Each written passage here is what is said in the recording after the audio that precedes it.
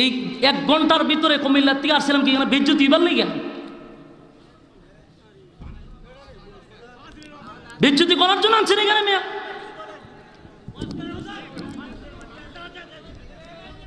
আপনার একজন বক্তা তুলেন বাস করার দরকার নাই। হ্যাঁ ঠিক আছে। ঠিক আছে এই কার কাছে দ্বারা আপনি? দ্বারা তো করে মিয়া বর্তমান। আপনাদের কারণে ফরজ প্রশ্ন করেন আমার। এ ভাই, ওয়াজ করে না সেরা পণ্ডিতই করেন এখানে।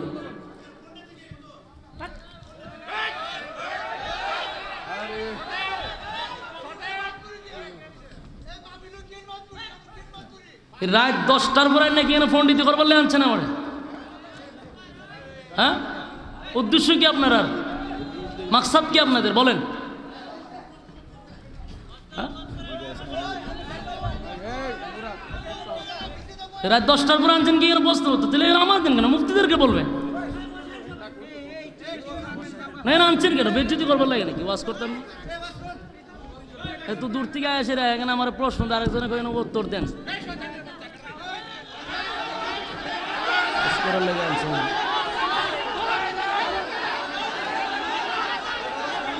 কি বাস করতাম মেয়ে? আমি সম্মান না দিতে জানলে আপনারা আনেন কেন? বক্তা আনেন এখানে কেন? আপনারা এখানে আলেম আলমা কেমন নাই তো এখান থেকে থেকে একজনে কাউন্টার দিয়ে এখান থেকে একজনে কাউন্টার দেয়। সব ব্যাপারের মতো বই রয়েছে। আপনাদের কারণে ওলামাই কেরাম আজকে এগুলো করে। আপনাদের কারণে আমি আমি বলব আপনাদের কারণে। রাতটা দিনে বসেন, আমি বলি আপনাদেরকে। বসেন। রাত দিন প্রোগ্রাম করি, রাত দিনে ঘুম নাই, খানা নাই। ঠিক টাইম মতে খানা পর্যন্ত খাইতে পারি না। ফ্যামিলির প্রতিবন্ধী কোনো খেয়াল খবর নাই। জীবনের উপরে রিস্ক নিয়ে রাস্তাঘাটে চলাফেরা করি। কতবার ডাকাতের কাছে পর্যন্ত সম্মুখীন হই। বিভিন্ন অ্যাক্সিডেন্টের উপরে কত বড় বিপদ যায় আমাদের।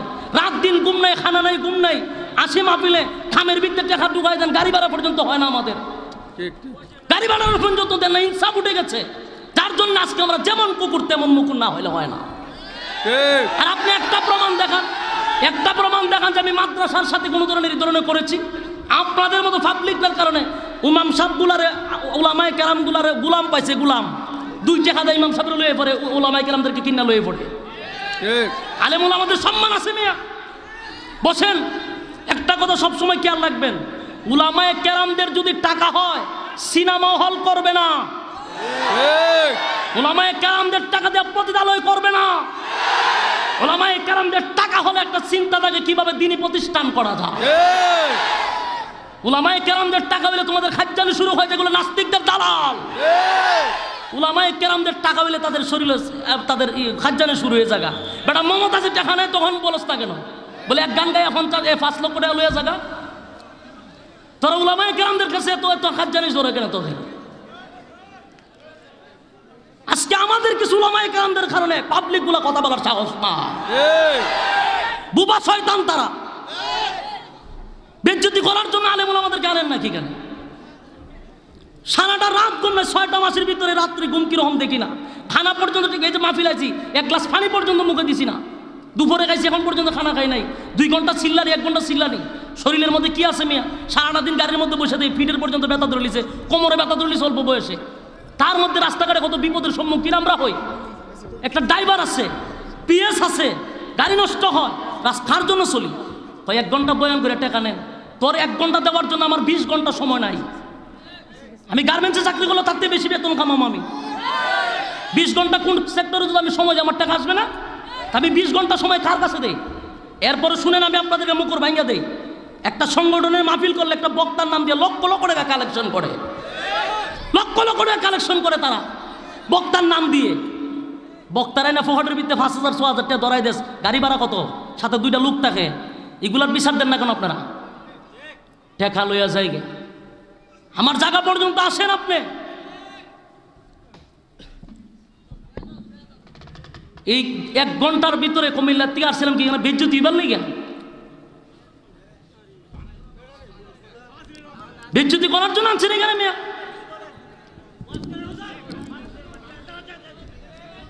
আপনার একজন বক্তা তুলেন ওয়াজ করার দরকার নাই কোথা থেকে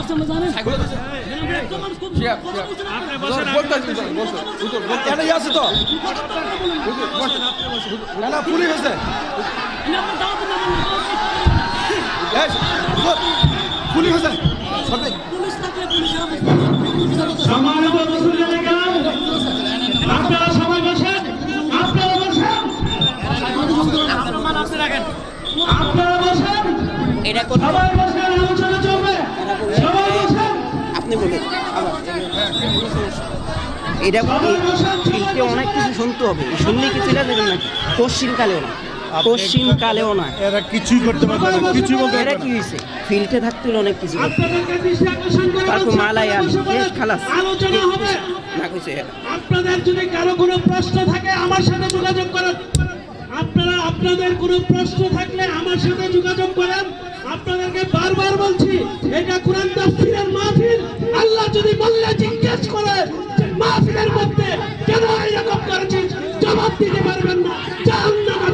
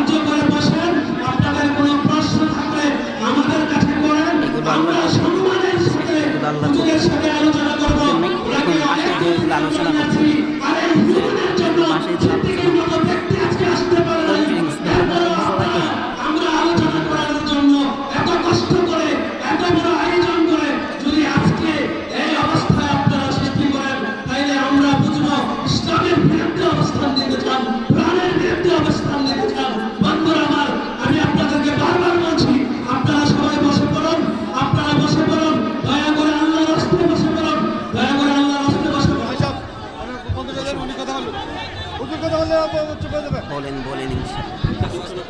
হুজুর আর বেশি বসেন বসেন ভাই বসেন বসে যান। বসে যান। সবাই বসে পড়েন। বসে যান বসে যান। কিছু কুচক্র তাকেই তারা কোরআন হাদিসের মাহফিলে ঝামেলা করার জন্য তারা দাঁড়িয়ে থাকে। এগুলো তাদের সহ্য হয় না। বুঝছেন? এগুলো সহ্য হয় না। আজকে এখানে বৈশা মমতাদের গান গাইতে হয় যে কিছু আছে না? কিছু মমতাদের গান গায় গিচ্ছা গল্প শোনায় পাবলিকদেরকে ইডিউল আবার এরা বাহ বাহ দিতে জানে। কোরআন হাদিসের মাহফিলে তাদের হক কথা বলতে দেয় না, কোরআন হাদিসের মাহফিলগুলো সুন্দরভাবে হতে দিতে চায় না। তাদের উদ্দেশ্যই হলো, মাহফিলগুলোকে ধ্বংস করে দেওয়ার কোনো উদ্দেশ্য নেই। ফতুয়া নিতে আসছে এখান থেকে। বসেন, এখানে উলামায় কেরাম আছে। শুধু উলামায় কেরামদের সম্মানার্থে আমি মাইকের আবার দ্বিতীয়বার মাইক ধরছি। না হয় আমার দরকার ছিল না। ভাই, আমি তো প্রথমেই বলছি, পোস্টার আমার কোনো নাম আছে? আমি আপনার দাওয়াতি মেহমান না মিয়া? আমি শুধু উলামায় কেরামদের সম্মানার্থে আমার মুরব্বী যারা। আমি মুরব্বী মানি, আমি বেয়াদব না। কারণ আমার যখন বলছো, সৈয়দ আবার মাদ্রাসার থেকে ফোন দিছে ওলামায় কেরাম আসতেইব শুধু তাদের সম্মানার্থে যে এরা আমাদের জন্য একটা ছায়া। কারণ আমি এখন মাঠে আছি, এরা আমার জন্য ছায়া, মুরব্বীদেরকে আমরা মানি। না হয় আমার প্রোগ্রাম ক্যান্সেল করে আমি কেন আসব এক ঘণ্টার ভিতরে? আমার তো এখানে প্রোগ্রাম না। আমি সম্মানার্থে কেন আসছি।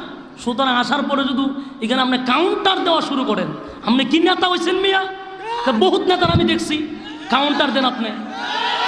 আপনি মাহফিলের পরিবেশ নষ্ট করার চেষ্টা করবেন না। আল্লাহর হস্তে বসেন। ওলামায় কেরামদের সম্মান আছে। ওলামায় কেরামের সম্মানার্থে কিছু সময় বসুন, মাহফিলের আর আলোচনা দীর্ঘ হবে না। ইনশাল্লাহ তারপর আপনারা মোনাজাত করে বাড়িতে যাবেন, ইনশাআল্লাহ। বসুন। প্রথমে কি বলেছিলাম? যখন কোরআন থেকে কথা বলা হবে, তখন কিছু সুদের বিরুদ্ধে কথা বলা হলে সুদকুরেরা খেপে যাবে। ঘুষের বিরুদ্ধে কথা বললে ঘুষকুরেরা খেপে যাবে। বেনামাজির বিরুদ্ধে কথা বললে বেনামাজি কেঁপে যাবে। হ্যাঁ? বাটপার সিটারদের বিরুদ্ধে কথা বললে বাটপার সিটার কেঁপে যাবে। কিছু কথা আছে তাদের শরীরে, এগুলাকে খাজ্জানি শুরু হয় আর কিচ্ছু না আজকে যত জামেল হয়েছে আমরার মধ্যে আমরার মধ্যে তো ঝামেলা কেন? আমি আপনাদেরকে একটা কথা বলি, শুনেন। ফার্স্ট মিনিট আমি আপনাদেরকে বোঝাই। উলামায় ক্যারামদের যদি টাকা হয়, সবসময় খেয়াল রাখবেন, এই টাকা দিয়া খারাপ কাজে লাগাবে না। আমাদের কোন উলামায় কেরামরা টাকা দিয়া বিশাল বাড়িঘর করে লেছে বলেন? গিয়া দেখেন, আগে একটা প্রতিষ্ঠান আছে। আগে একটা মাদ্রাসা আছে গিয়া দেখেন। সারাটা রাত, সারাটা দিন দৌড়াদৌড়ি করে আমাদের টার্গেট হলো একটা দিনই প্রতিষ্ঠান করতাম। আমার স্বপ্ন একটা মাদ্রাসা করতাম আমি। আমারও এরকম টার্গেট তা আমি শুধু ভিক্ষা করি, তাও তো আমার মাদ্রাসার জন্য কেউ টাকা দিবে না। দিবে? আমার তো আপনারা যদি এসে বলি যে, ভাই, আমার মাদ্রাসা করুন, আমরা দুইটা হাজার টাকা দেন। বাদ ডাকলেও দিবেন না।